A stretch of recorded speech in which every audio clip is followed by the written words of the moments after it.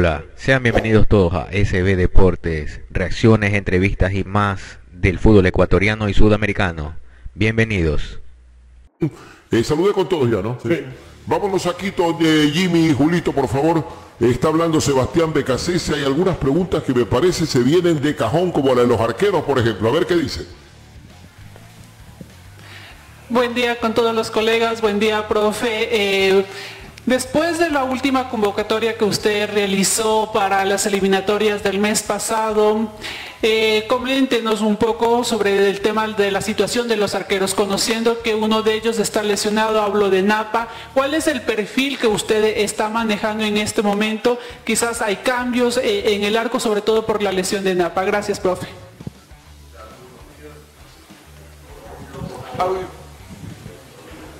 Gracias ahí por la, por la presencia y por permitirnos también a través de ustedes llegar a la gente, que la idea de estas conferencias siempre es que, que el pueblo de Ecuador nos pueda también escuchar y, y que se lleve esas sensaciones ¿no? de lo que vamos haciendo en este tiempo de, de, para, donde nosotros nos paramos y trabajamos, evaluamos, hacemos seguimientos, seguimos en contacto con los futbolistas que estuvieron, con los que no estuvieron, con los que van a venir, con los que también no van a venir porque bueno, esa es la tarea del seleccionador, ¿no?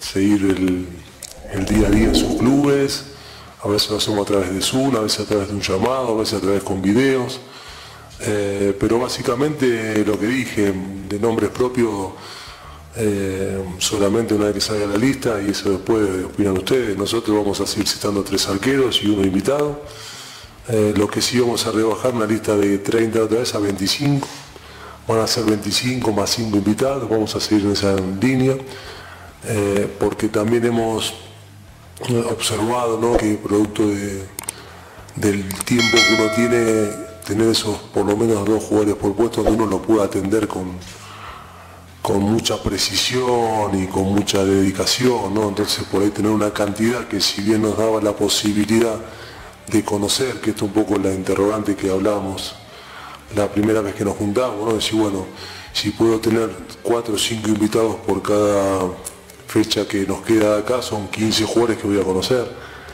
Eso sumado a que en el mes anterior muchos jugadores estaban sin club o recién habían definido sus clubes o estaban sin competencia, optamos por tener un número mayoritario.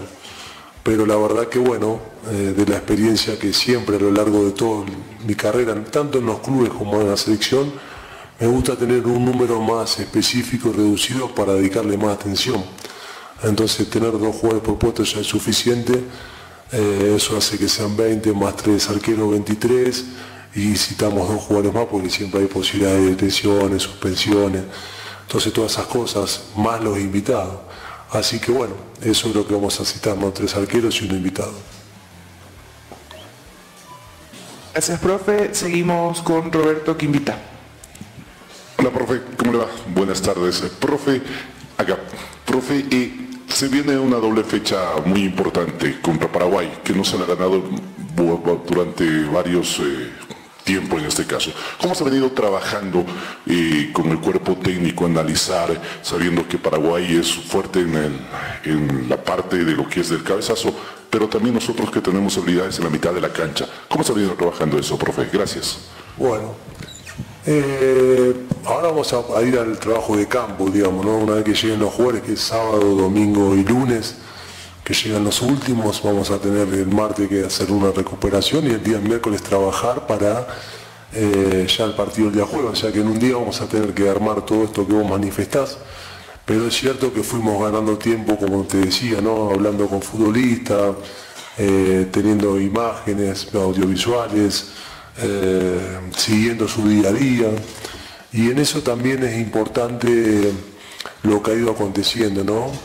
Es cierto, creo que todos podemos coincidir en esta sala de que hoy Ecuador tiene eh, la, mejor camada de sus futbolistas eh, a lo largo de su, historia, porque así lo indica que están en, clubes importantes. Pero también es cierto que no está al nivel de Brasil, Argentina, eh, estamos queriendo acercarnos a, lo de Uruguay y Colombia, que también tienen más jugadores que los que tiene Ecuador en la elite. Pero en esto es muy importante, siempre digo, la coherencia. y poner equilibrio, ¿no? O sea, por un lado es verdad que tenemos los mejores futbolistas de la historia de Camada en el Ecuador, pero por otro lado también es cierto que los demás los tienen y además también tienen un historial que hace que eh, esté por encima. O sea, creo que hoy está claro que siempre Argentina y Brasil han estado en un lugar de privilegio, que Uruguay y Colombia siempre intentan meterse ahí, y que después hay equipos que vienen peleando para ver si se pueden arrimar a esa zona. ¿no?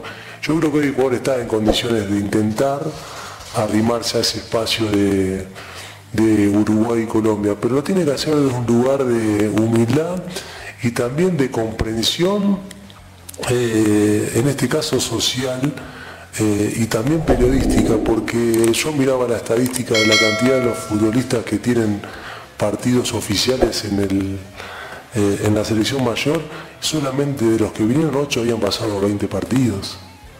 Y a lo mejor a Pacho se le exige por estar en PSG y tiene 12 partidos oficiales en la selección.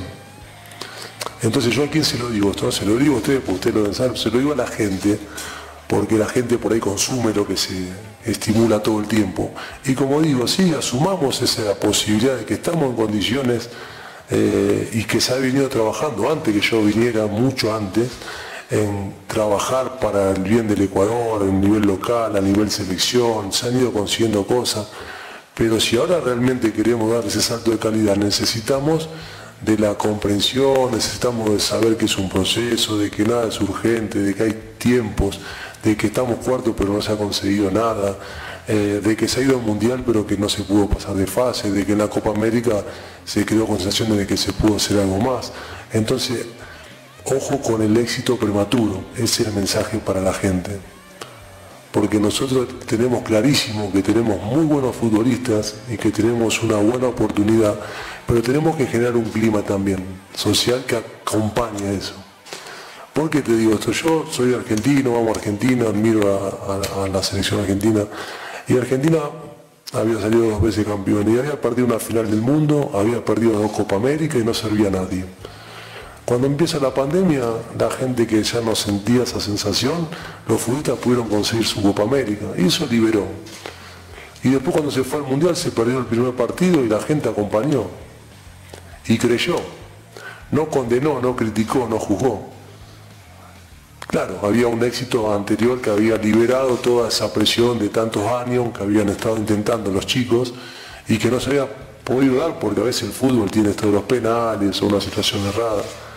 Pero no es casualidad, por lo menos de mi de óptica, no tengo la verdad, de que haya conseguido logro tal vez cuando estaban en época manteniendo toda esa energía de ellos que siempre aportaron lo mejor, como lo hacen los futbolistas ecuatorianos. Eh, ahí, la cortamos, eh, porque hay que, participar por acá también. ¿Me permiten hacer en un minuto un resumen más o menos de lo que dijo el profesor BKCS, que le puse mucha atención a lo que expresó? Eh, punto uno dijo va a citar a tres arqueros y a un arquero más en condición de invitado. Nombres no los ha dado, pero la actualidad de algunos buenos arqueros que tiene Ecuador da más o menos para ir entendiendo quiénes serían los llamados. No hago nombres por si acaso.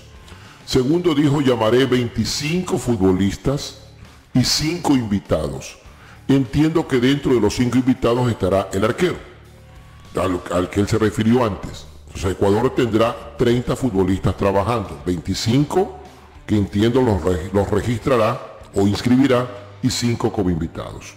Igual, es que con el caso de Medina, un invitado puede meterse en la convocatoria. ah, claro, eso sí. Es que eso, sí, por eso, sí. Si el técnico lo considera, por supuesto, el invitado lo mete. Eh, la otra, dijo que el, fútbol ecuatoriano sigue creciendo, progresando, con futbolistas en el exterior, con una buena camada y generación que se tiene, pero muy distante todavía a los niveles de un Brasil y de una Argentina. Que los niveles más al alcance del fútbol ecuatoriano, dicho por él, son Uruguay y Colombia, y que hoy hacia allá es que debe apuntarse. Que tratar ya de alcanzar niveles como el de los argentinos y brasileños, no, eso es engañarnos.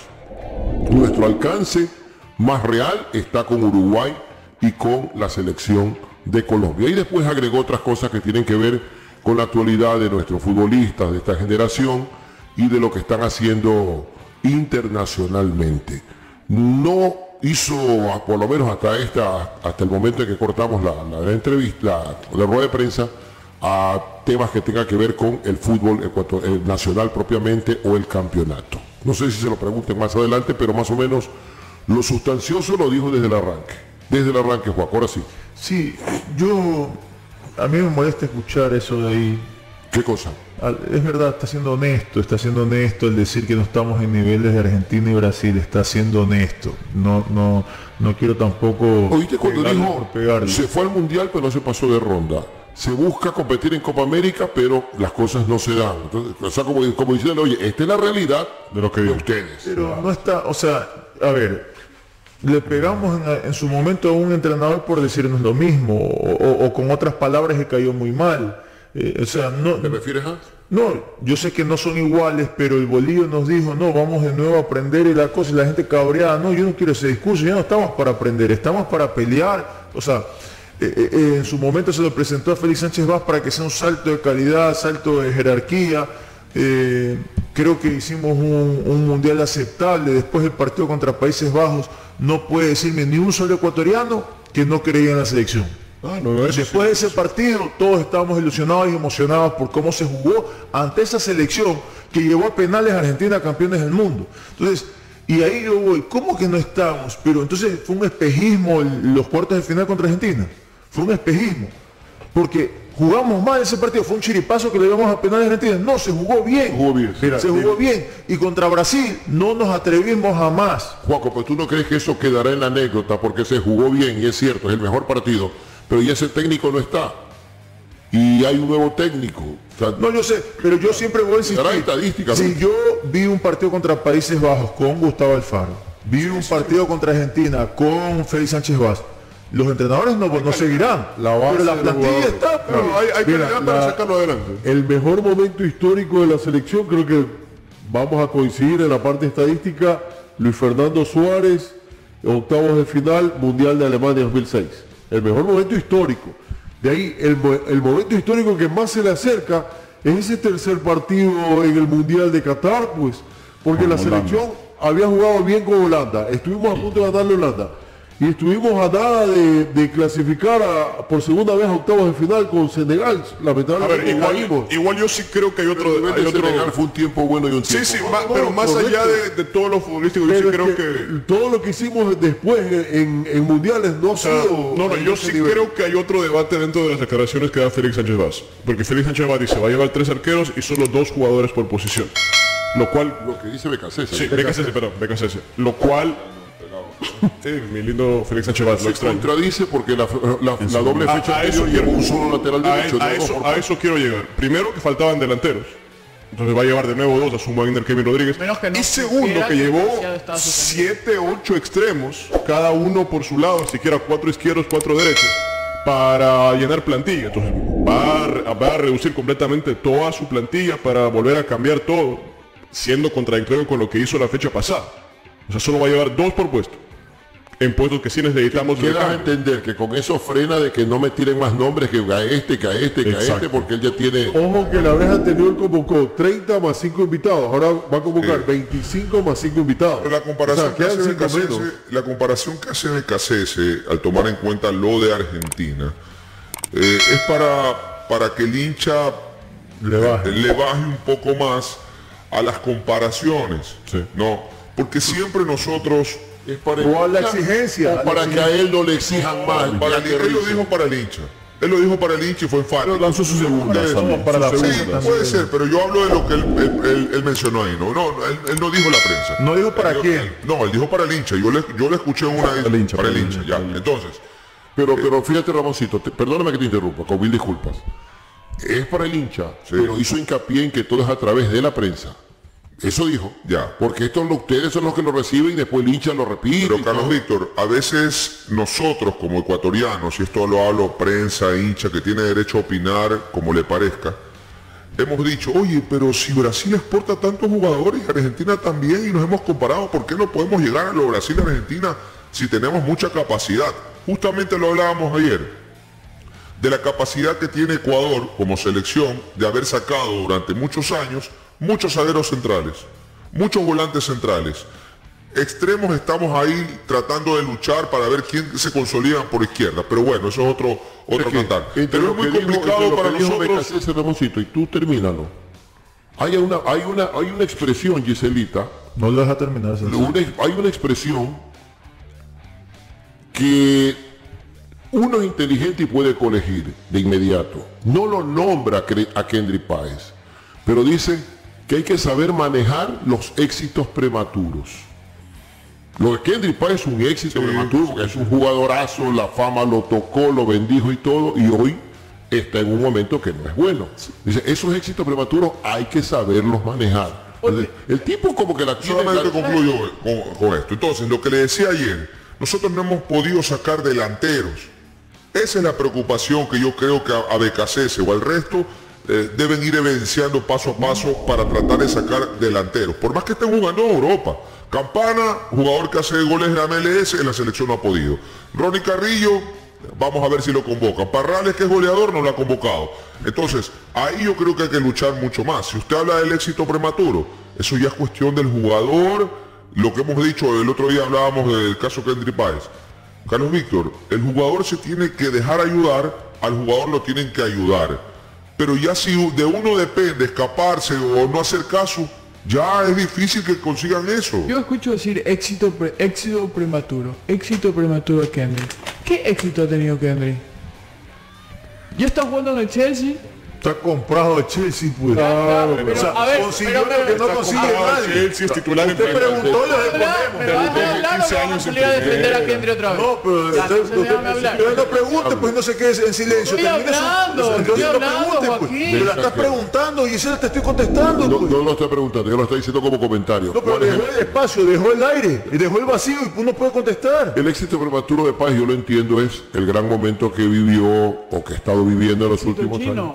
Es un desmonte debutar casi 15 años. A 16 años. A ver, sí, pero por eso hay que tomarlo con calma. Porque yo no veo a este muchacho como, como, como Kendry ya ser sólido en la selección, está un bajo rendimiento y hoy nadie ni siquiera lo queremos como titular y algunos, incluyéndome, ni siquiera convocarlo por su bajo y por todas las otras razones que ya conocemos. Dos, es un jugador que ni siquiera saltó a Europa.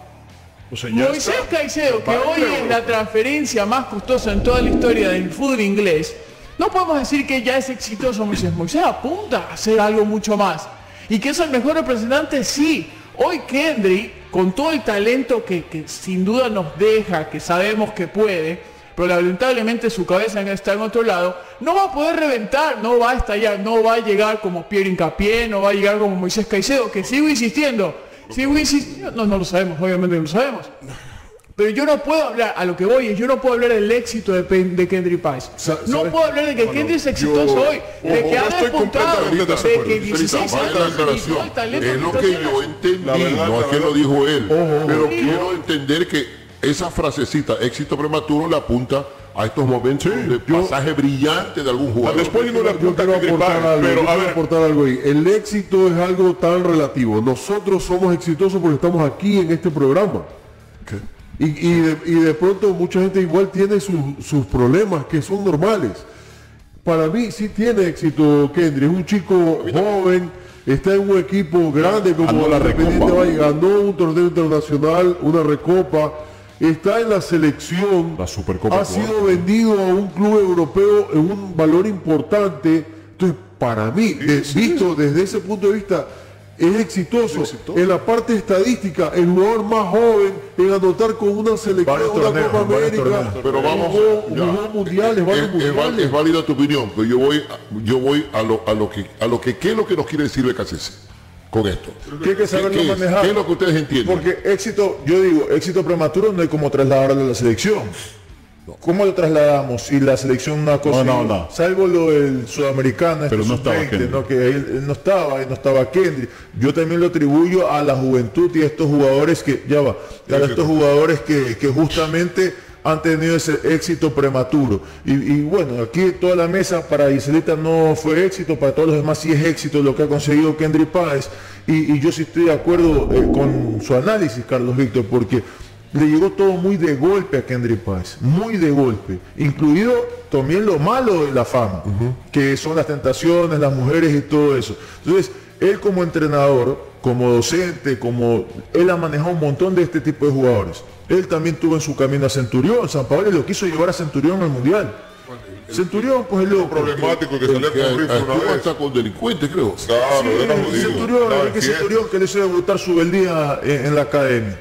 ¿ya? Entonces, él ya ha manejado jugadores problemas, ha manejado jugadores que, que han tenido inconvenientes con la noche y, y con todas las tentaciones. Entonces, obviamente, sabe que tiene un chico ahí que es un gran talento, que ha venido siendo titular en la selección, pero que hoy no está bien, que hoy ni siquiera merecería convocatoria. No. Entonces, a lo mejor el entrenador lo convoca para no perderlo, para no quitarle la confianza, para, man- para llevarlo a poco y que él pueda conversar con él desde cerca. Eso no Carlos ¿Tú Víctor, crees que la selección es, es el, es, el, es el medio para, recuperar para recuperar un jugador?